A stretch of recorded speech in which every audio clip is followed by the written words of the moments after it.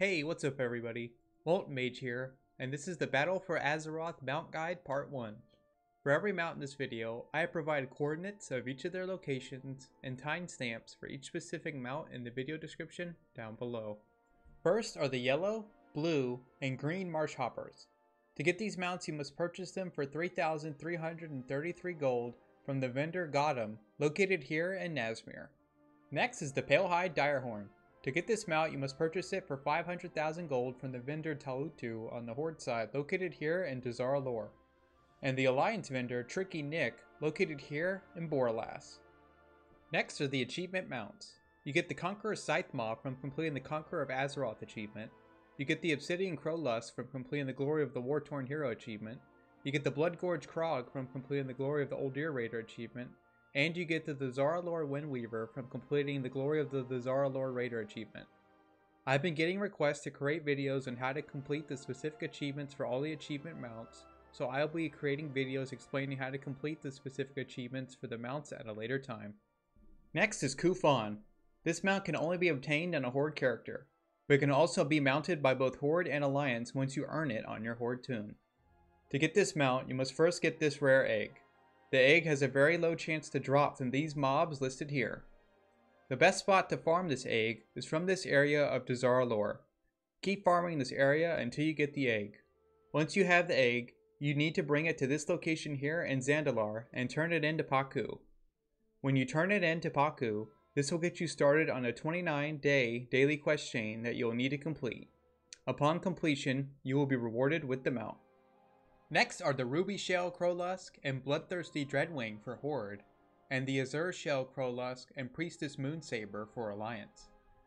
To get the mounts for your respective faction, you need to save up a total of 950 Honor-Bound Service Medals or 7th Legion Service Medals. The way to earn Service Medals is to complete the world quests that are up in the active Warfront. The portals to get into an active Warfront are located here in Dazar'alor and located here in Boralus. Another way you can earn service medals are by doing the Warfront scenarios, but it will require you to have a minimum of 10 people in a raid group before you will be able to enter one. And your faction on your server will need to complete the contributions needed to activate this scenario. To do that, complete the daily quests that are available in the general area of the Warfront table. The final way to earn service medals is by earning Paragon Reputation boxes with either the Honor Bound or 7th Legion, as these Paragon boxes will reward 20 service medals. Once you have enough service medals, you can purchase the mounts from Provisioner Morak on Horde side and Quartermaster Stoutforge on Alliance side. Next are the Horde Allied Race mounts that were released on or before patch 8.1, which include the Highmountain Thunderhoof, Nightborne Manasaber, Mag'har Direwolf, and Zandalari Direhorn. Unlocking the mounts are the same requirements as unlocking the allied races. You will have to complete the prerequisite quest achievements before you can do the quest change required for each one. For the Highmountain Thunderhoof, you will need to complete the Ain't No Mountain High Enough questline. For the Nightborne Manasaber, you will need to complete the Insurrection questline. For the Mag'har Direwolf, you will need to complete the Ready for War questline. And for the Zandalari Direhorn, it will require that you complete both Zandalar Forever and Tides of Vengeance questlines. After you have completed the prerequisite questline for the specific allied race mount you are targeting, you will need to head to the Horde Embassy located here in Orgrimmar. Once there, you can speak to Ji Firepaw, who will give that specific allied race's mount starting quest, which will get you started on a quest line that you will need to complete. Once you complete that quest line, you will unlock the allied race and mount. Next are the Alliance Allied Race mounts that were released on or before patch 8.1, which include the Starcursed Void Strider, Lightforge Felcrusher, Dark Iron Corehound, and Kul Tiran Charger. Unlocking the mounts are the same requirements as unlocking the allied races. You will have to complete the prerequisite quest achievements before you can do the quest chains required for each one. For the Starcursed Forge Strider and Lightforge Felcrusher, you will need to complete the You Are Now Prepared quest line. For the Dark Iron Corehound, you will need to complete the Ready for War quest line. And for the Kul Tiran Charger, it will require that you complete both Tides of Vengeance and A Nation United quest lines. After you have completed the prerequisite quest line for the specific allied race mount you are targeting, you will need to head to the Alliance Embassy located here in Stormwind. Once there, you can speak to Asaya Cloudsinger, who will give you that specific allied race's mount starting quest, which will get you started on a quest line that you will need to complete. Once you complete that quest line, you will unlock the allied race and mount. Next are the Cobalt and Spectral Pterrorwings. To get these mounts, you must become exalted with the Zandalari Empire. The best way to get exalted is to complete the Zandalar story quest line and then farm the daily world quests that come up in the zone.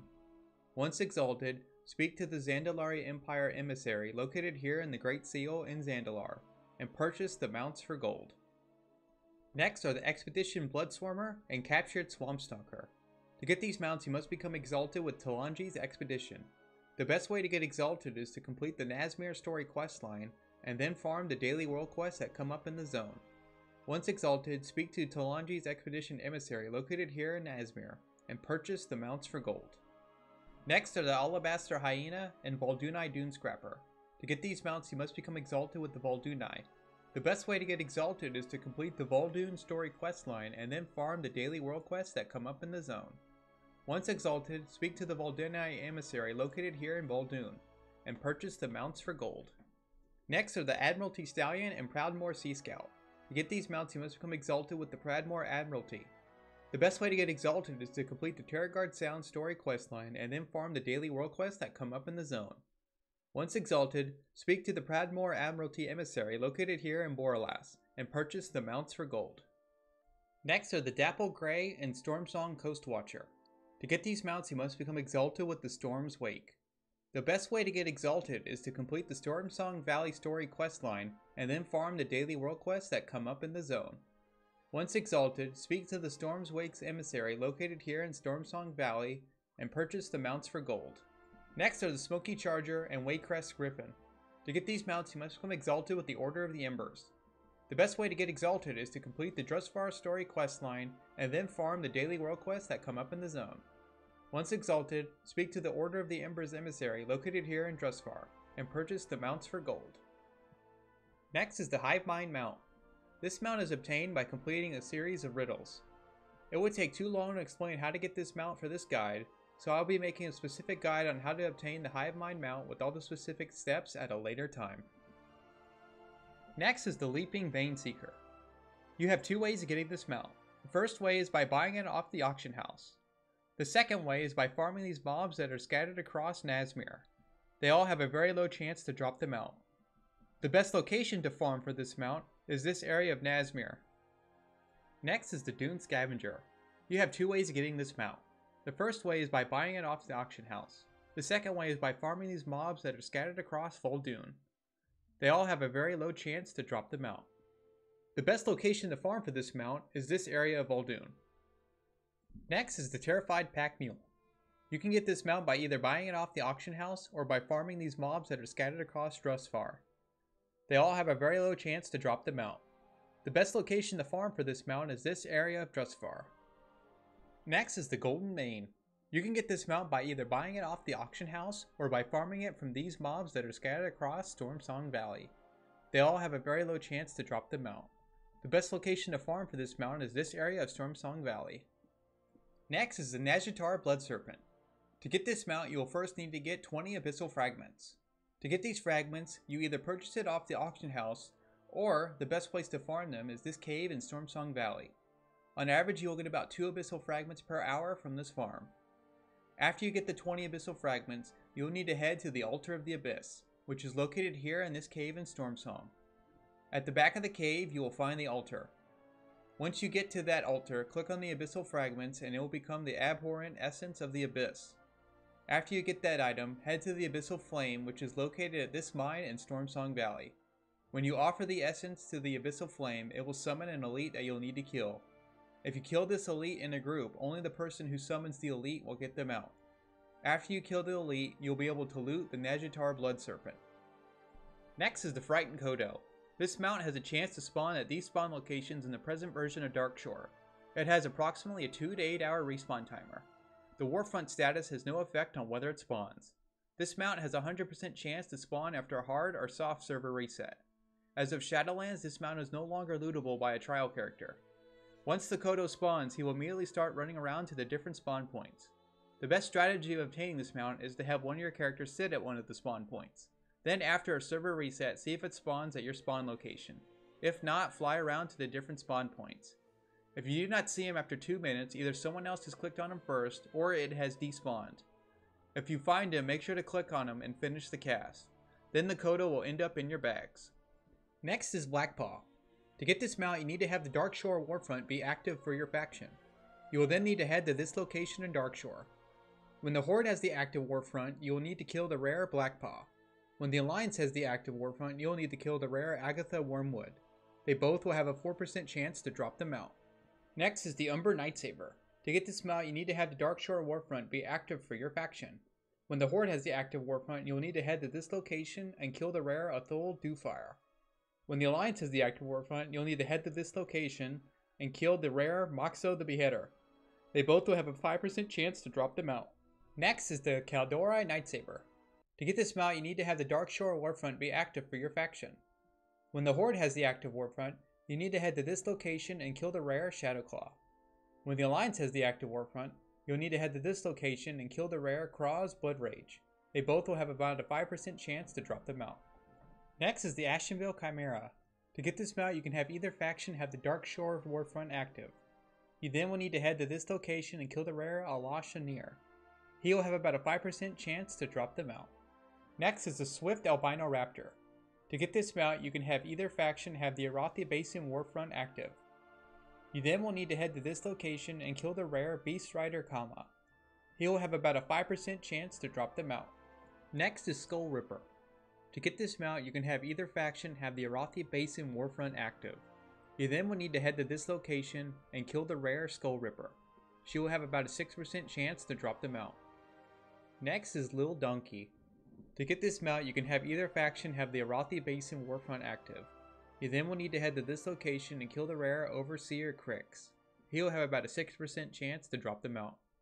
Next is the Broken Highland Mustang for Horde, and the Highland Mustang for Alliance.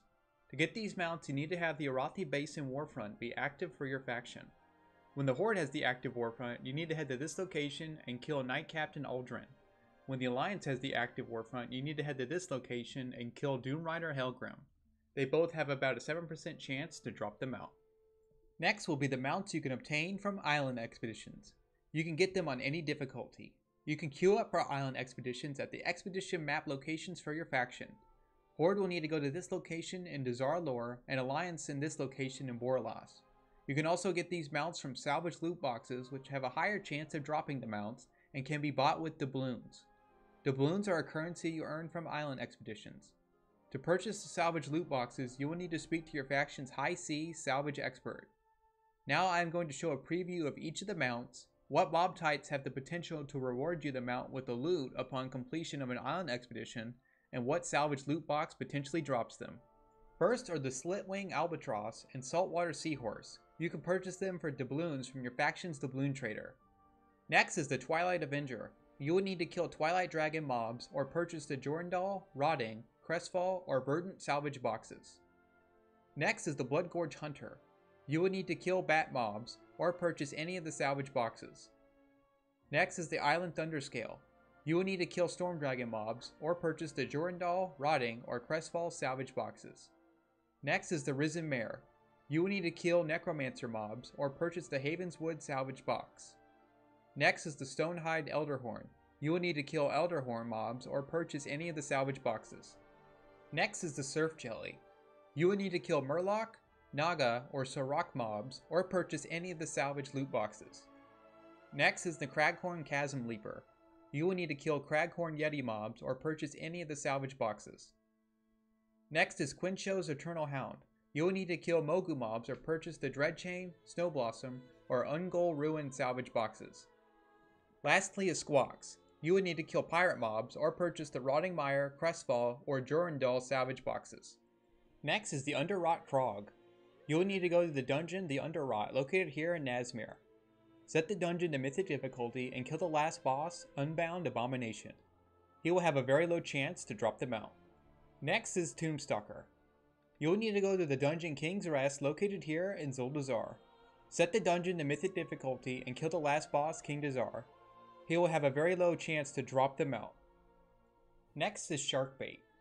You will need to go to the dungeon freehold located here in Tiragarde Sound. Set the dungeon to mythic difficulty and kill the last boss Harlan Sweete. He will have a very low chance to drop them out. Next are the G.M.O.D. and Glacial Tidestorm mounts. To get these mounts, you need to go to the Battle of Dazar'alor raid, with the Horde entrance being located here in Zuldazar and the Alliance entrance being located here in Boralus. For G.M.O.D., you can set the raid on any difficulty and will need to kill the boss High Tinker Mekkatorque. Unless you're doing this raid on LFR difficulty, and if so, you'll need to kill the last boss, Jaina Proudmoore. For the Glacial Tidestorm, you'll need to set this raid to Mythic difficulty and kill the last boss, Jaina Proudmoore. She will have a low chance to drop them out. And those are all the mounts in this guide. If you like this video, please give it a thumbs up and subscribe for more content. I also like to stream on Twitch. I like to host RBGs, raids, and Mythic Plus dungeons on there. If you would like to come check out my stream, I have provided a link to my Twitch down below. Goodbye everybody!